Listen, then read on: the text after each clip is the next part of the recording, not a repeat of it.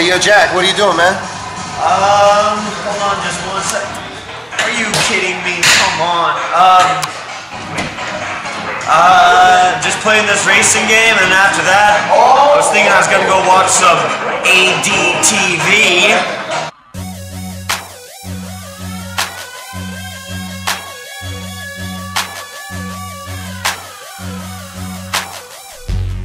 Um, next up here is the Ric Flair interview backstage. This is one of the ones I watched as well, and wow, I mean, this was great. The line of the, the line of the night here was saying Lethal was going to get his ass beat so hard that he's going to have to go home to suck the milk out of his mama's titty to revive him.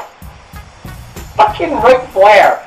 That, my friends, that was a fucking promo. I mean, god damn, just cut right into it. Talking about 39 years in the business. It's going to be a pissed off Ric Flair tonight. And that does bring up the next match, which is the sixth match of the night, which is Ric Flair Nature Boy versus Jay Lethal. Ric Flair, say what you say, want to say. I mean, this match was okay at best, adequate. I gave it a 4 on a 1 to 10 scale. Basically, because Ric Flair just can't really do it anymore. I mean, excuse me. Little Cottonmouth had a buddy of mine come over and smoke me out with some beautiful, beautiful bomb ass cushion. I'm just feeling good right now. So, um, yeah. he's sitting right here fucking chilling watching me film.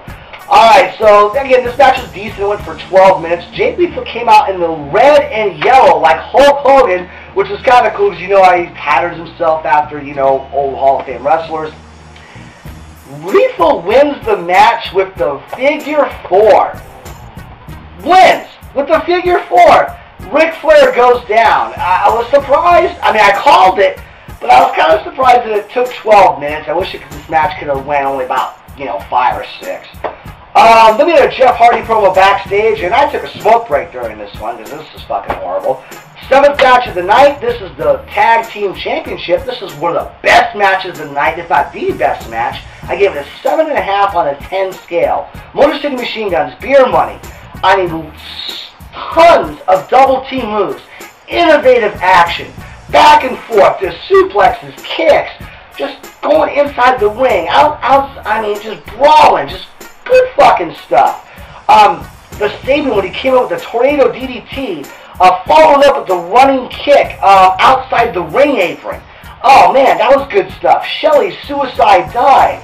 Um, again, this match was over about 12 minutes in, at least so we thought, when Beer Money supposedly picked up the win. But one of the other referees was counting, um, you know, for the Motor City Machine Guns.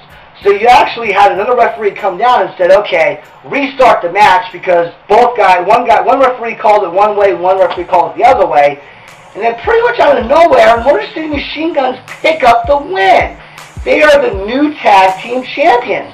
I mean, I did not see this coming. They, are, they have not had the belt yet. I, this was an awesome match, as I said. I mean, it looked like 16, 17 minutes. They were given a lot of time. Great job, TNA. I mean, really, this match was fucking awesome. Um, now we go on to another awesome match of the night, which was uh, Angle versus fucking The Pope. Only went for 12 minutes, but this was just good. Back and forth action, grappling in the beginning, just how an Angle match is supposed to be done. Um, this was kind of cooler because Pope kind of showed some respect because Angle got outside the ring, right? So Pope's like, all right, let me hold, hold open the ropes, let you in. Angle's like, cool, man, thanks. Jumps inside. After that, they lock up. Angle proceeds to fucking powerbomb him into the turnbuckles. That's how you pay someone back for respect, man. That was fucking awesome. Um, and of course, this match again was great. It ended with ankle lock in the middle of the ring. Sit down, just the way I called it on the prediction show. I got three points on this one. This was a good match. Um, and uh, it was a great sequence to end, by the way, as well.